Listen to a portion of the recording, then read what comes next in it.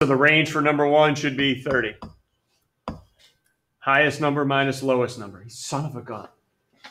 It's all right. Yeah, no problem. Just go and mask in here, then the one kid shows up. So I can sit six feet no, apart if you want. no, let's throw that mask back. All on. right, No, all right. This is fun. Yeah. I'm just vaccinated. Showed up, showed up late too, which is even better. Huh? Kids at home, huh?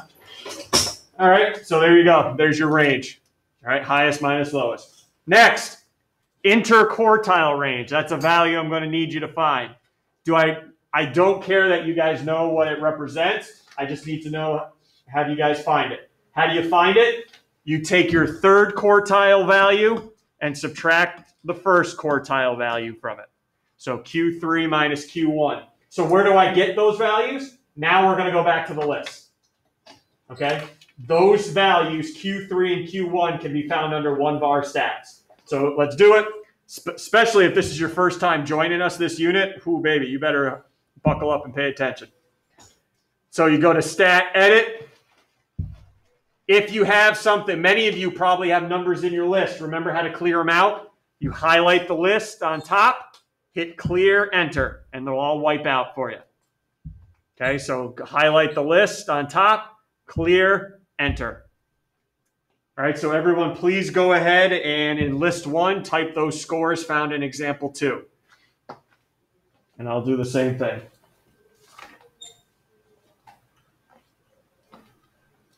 Where is my, there it is.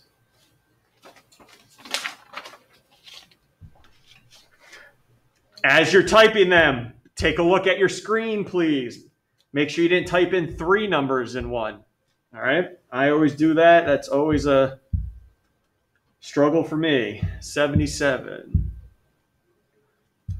Type in all of them, even the repeaters we're typing in. I have a question. Yep, go ahead. I'm listening. Isn't there some time when you don't put the repeated numbers, but not for not for the range or Uh, something? I don't know, Caroline, to be honest. Um, I'm, I put in every single number I'm given into the list. So you don't even have to worry about putting in the repeaters or not.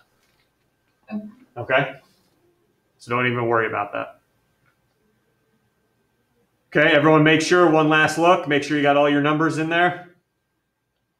Make sure they're all two digit numbers except for 100. Okay, we're still going back to stat, calculate, one var stats. We're not going to go anywhere else this unit. Stick with one var stats. All right, now we talked about this on Thursday. I only have my numbers in one list. So the only thing showing should be L1. So if anybody has L2 in their frequency list, get it the heck out of there. I only have numbers in L1. So that's what I'm going to tell my calculator. Now we go down to calculate.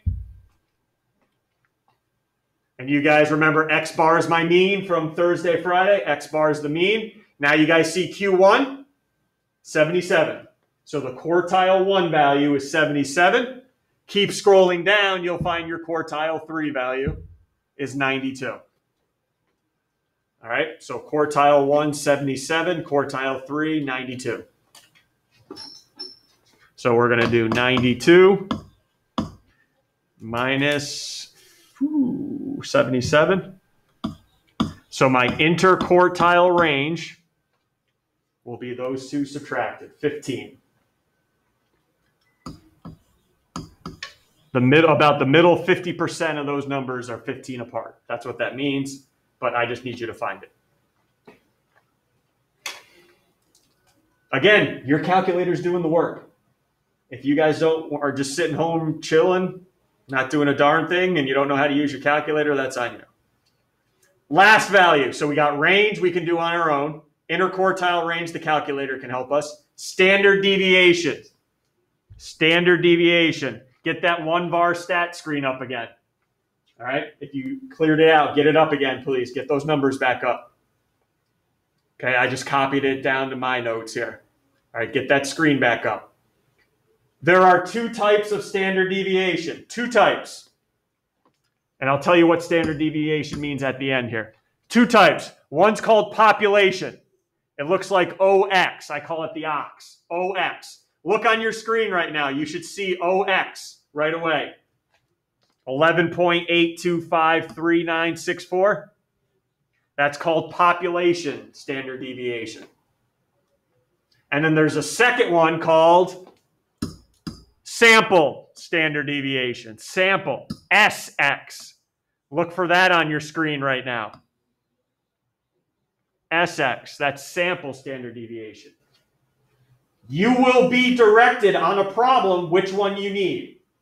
It will say sample or population. Okay? You will be directed on every problem to which one you'll need. If you are not, please listen carefully. If you are not directed to, to use one over the other, you always use population. Okay? Let me say that one more time. If there are no directions saying which one to use, you go with population. Okay? Go with the population, the OX. All right? So sometimes a problem will not state which one to use. You go to the population. OX. Last thing before we start doing some problems together. What does this number mean? And please jot this down as a note right next to standard deviation. The lower the lower the standard deviation,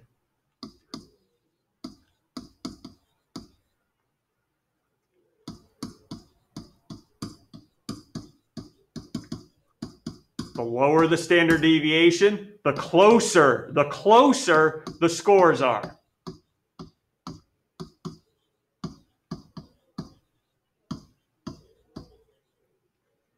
Okay, the lower the standard deviation, the closer the scores are.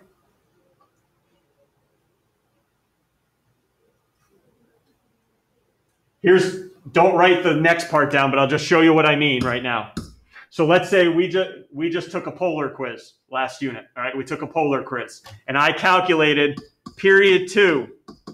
Period two had a standard deviation OX of I don't know 4.6. That's what their standard deviation came out to be. And then I did the same thing for you guys. Period five, and the standard deviation came out to be 2.2. As a teacher, this tells me you guys had scores that were closer together than period twos their scores were more spread out than yours. So that's what it tells me. All right, how close scores are. All right, any issues? Because now I'm going to start calling numbers. So hopefully you're awake at home, actually have a packet, maybe writing down stuff. Who knows? All right, take a look at number one. I got set A and I got set B of numbers. We're not even going to put anything into a list. Just look at both sets. Which one should have the smaller standard deviation? I'm going to call on somebody here in a second. Remember what we just wrote down about small standard deviations. Which one of these two groups do you predict has a smaller standard deviation if we calculated it? A or B? Which one has the smaller standard deviation? All right, here you go. Let's start it up. Five Ella, which one do you predict has the smaller one? I said B. Darn right you did. Because everyone take a look. All those scores in B are a heck of a lot closer than they are in A. So you know set B because scores are closer together.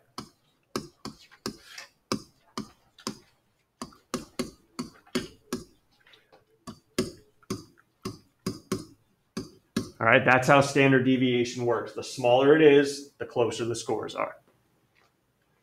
Everyone see that? Understand that now. All right, let's actually calculate some standard deviations. Let's actually get numbers now. So I got two families. I got the Millers and I got the Lopez's. Can you help me find the mean and the standard deviation for both families? All right, I know the mean's pretty easy because you guys can just add them up and divide by how many, but your calculator is going to get you standard deviation. So let's do Miller's first. So everyone go to your list. I know it only three numbers are going to be in there, but hey, if you want to find the mean by hand, go ahead, but you got to use your calculator to do standard deviation. So let's go to our list, clear them out, stat edit. Let's clear it. And we have, let's see. And then I'm going to see uh, what you got for me. 10, 12, 14, 10, 12, 14. put one family in at a time, please. One family in at a time. Stat calculate. One var stats. You only have it in list one, so keep it like that. No need to put L2 in. Calculate.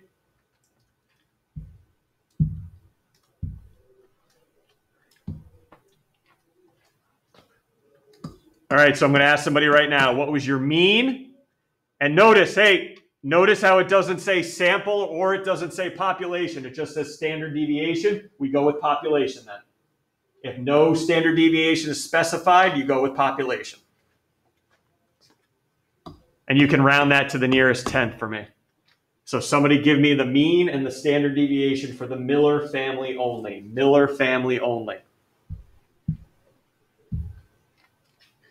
Eight, Colin, want to give me the mean and the standard deviation to the nearest tenth?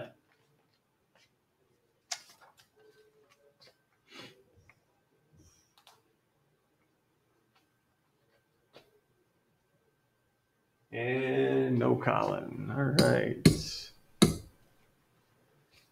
Ella, going to go back to you. Save us here. How about the mean and the standard deviation, Ella? The mean is 12 and the standard deviation is 1.6. Good job. Yep, perfect. 12, 1.6. And she got that right from one of our stats. All right, go ahead. Everyone clear out your Miller family list and now do it for the Lopez family. Same thing. What's the mean? Standard deviation, population, 4 to the nearest 10.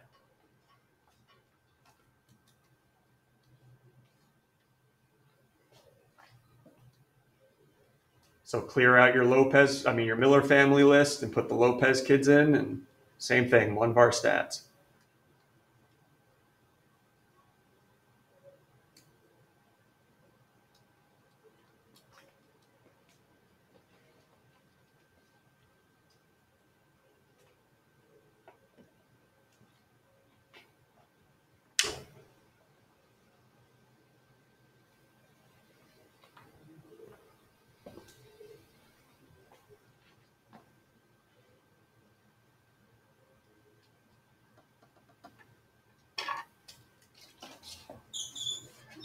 Okay, when you're ready, let me know what they are. Mason, when you're ready, let me know the mean and the population. Standard deviation. Mean is 10 Yep, and deviation 3.7. good. All right, so what did we just learn here about the Miller versus the Lopez kids? We'll look at their standard deviation. Miller kids were 1.6, Lopez's were 3.7. I know we could have looked at the numbers and said this, but the standard deviation concludes it. Miller kids closer in age, okay, because their standard deviation was lower. So Miller children closer in age.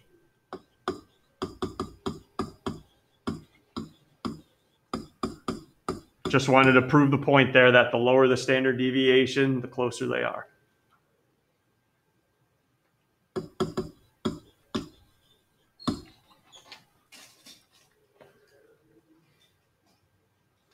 Right, questions from you guys? Anything?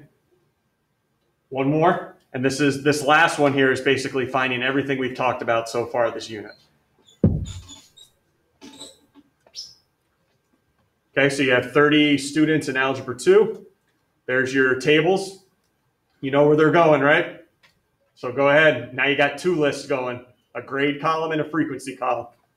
Go ahead.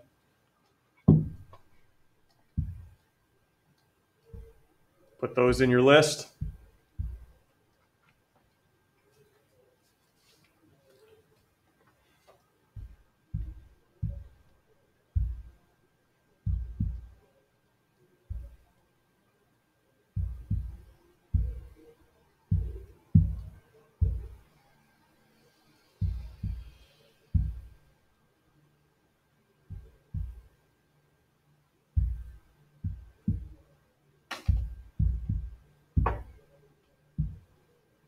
Make again, after you're done, take a quick peek. Did I get all my numbers in? Does everything match up on my tables?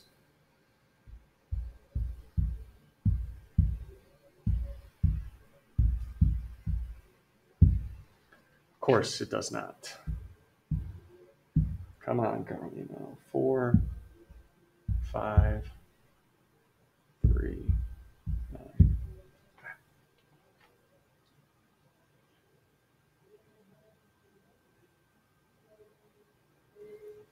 Okay, everyone's good?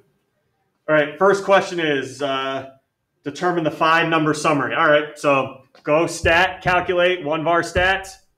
Now you got two lists. Be careful. You got two lists now. So make sure frequency list, you get L2 in there. Second, number two button. Okay, if you use two lists, L2's got to go under frequency list. Calculate it. All right, here you go. Here's your five number summary. I don't know if you back in the day, ninth grade, if you guys uh, remember doing box and whisker plots at all. You got a five number summary to create them, but it's okay if you don't. First number in the five number summary is the minimum value. What's the minimum score here? Your calculator does have it. I don't know why it gives it to you, but it does. Min. You can just look at the table too. The smallest score is 65. There's your first one. Second number in the summary. Here we go. Now we're going to go quartiles. Q quartile one. Quartile one. It's right on your uh, calculator. 60, sorry, 65. Just happens to match. That's just coincidence. Now, there is something called quartile two, but it's also called the median. We refer to it as the median. Q2 is the median. And keep scrolling down. There's more values than that on the screen. Keep scrolling down. 79. You guys can probably guess what's coming next. Q1, Q2, the median, Q3, quartile 3. 88. And finally, 5. If we found the min, our final number in the five number summary is our max. And that'll be 100.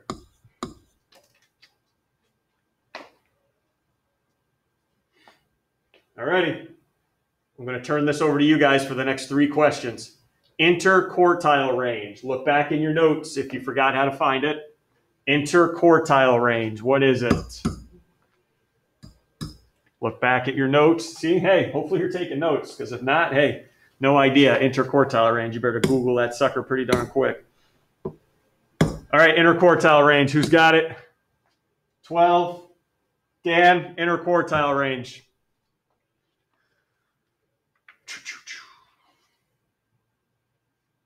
21. 20. How do you get 21? Uh, don't. You, oh wait. It's 23. 23. How'd you get it so the rest of your classmates know? Uh, I did uh, Q3 minus Q1. There you go. Q3 minus Q1. That gives you tw- 23. If I could write it correctly, that would be great. Uh, minus 65. 23. All right, mean to the nearest tenth. It's right there on your screen. Mean to the nearest tenth. Caroline, what do you got? Mean to the nearest tenth. 79.5. Good. Remember, that's X bar, everyone. X bar, 79.5. Good job so far, you two. Let's finish this strong now. How about the population? Now I am specifying population, the ox, population standard deviation to the nearest tenth for me. Let me just make sure I know it. Yep. Okay, nearest tenth. What do you got? Dan, going back to you. Population standard deviation, nearest tenth. Um, 11.7. All righty, everybody, 11.7. All right, we all good with those? Because now I'm going to go into something different to end class. How we're going to use the standard deviation and the mean together. Any issues finding those values on your calculator? If you're, hey, honestly, if you're not matching me, it's probably because you typed something wrong in your list. One number off could throw it all off. All right, so here we go. Part E. What is the how many scores fall within one standard deviation of the mean? So let me go over that terminology here first. What is within one standard deviation of the mean? What is that asking me to do? All right. Well, what is the mean, first of all? Going back, Caroline gave us the mean is 79.5. And I want to find how many scores fall within one standard deviation of that. All right. So I got the mean. We also know Dan gave us the standard deviation, 11.7. Within one means I'm going to take my mean, add the standard deviation to find one above, so plus 11.7, and I'm going to go in the other direction and subtract the standard deviation. That's within one standard deviation. Subtract it on one end, add it on the other.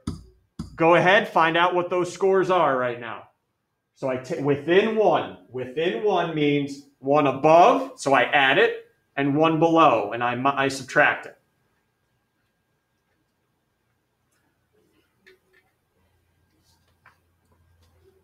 So everyone take 79.5, add your standard deviation, get a new score, and subtract it, and then we'll talk.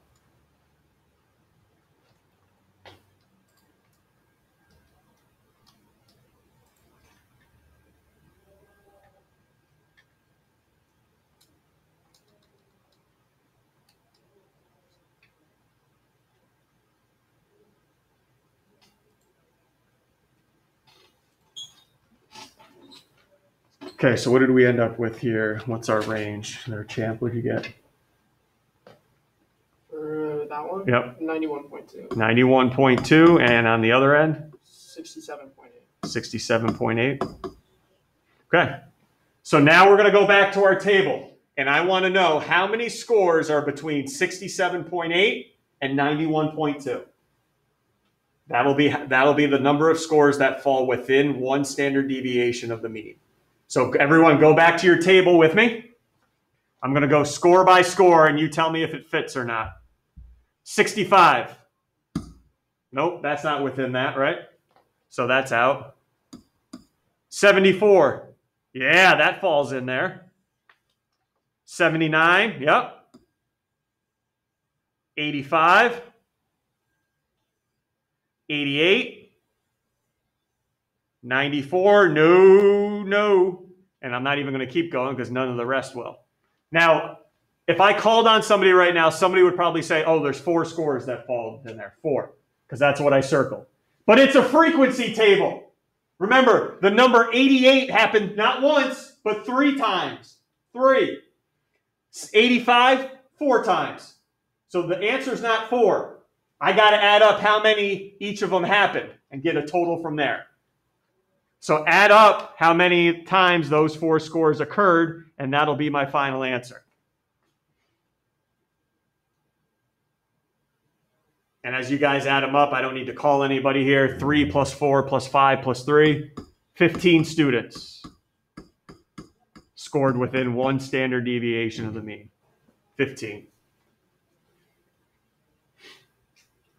So within one, I add and subtract the standard deviation. All right, let me change the any questions there before I change it a little bit. All right, part F. What's the probability you pick a student who fell within one? All right, you guys did the hard work already. You know how many students fall within one. Probability is what's your chances now that you pick a student that fell within one. All right, well, it's going to be a fraction. And we already know 15 students fell within one. What are the chances I pick one? So, what's my denominator have to be? Out of all of them, right? 15 out of blank. Okay, that will be my probability. 15 out of, you guys go ahead and add them up. And I'll show you how you can find that number pretty quickly on your calculator. And you guys are finding there's 30 students. It also told us in the directions. So 15 out of 30 is the probability that I pick one within one. Also, I don't know if anybody had their one var stat screen still up. You have an n equals value on that screen. You can see it on mine if you don't. n equals. That'll always tell you how many numbers you put in. All right, so n equals always tells you how many numbers you put in. All right, good job. Last one now. What percent? Now I change the wording. I don't say within one, I say more than one standard deviation, above the mean. Okay, so what percent of scores were more than one above the mean? Well, everyone go back to part E.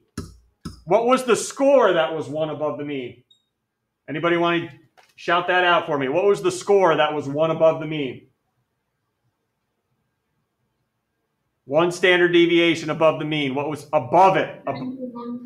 Thanks, Caroline. It was 91.2. So what we're looking for is anything above 91.2. More than one above the mean. If I said more than one below the mean, I'd be looking for anything less than 67.8. All right, but since this said above, I went to the right, saw the 91.2. Go ahead, kids, count up how many scores are uh, above 91.2. And don't tell me three. Add them up. Add them up. How many scores are above 91.2? I'll go back to the numbers one last time. Four. Anna, how many scores? Nick, sorry. You think I would know this week 38? Six. Six scores. All right, Nick, stay with me here. It doesn't say how many, it doesn't ask for how many scores, Nick. It says a percent of scores. So six out of how many? Thirty. 30. There you go. You want to turn that into a percent to end this day? Twenty percent. 20%. Kids on fire. Animal. 20%. So one above, I add. One below, I subtract. All right, within one, I do both because you're going to have to do it tomorrow for me. Any questions or comments before we end this thing? Whew. Know how to use your calculator, right? All right, guys, I'll see you for the assignment tomorrow. See you later.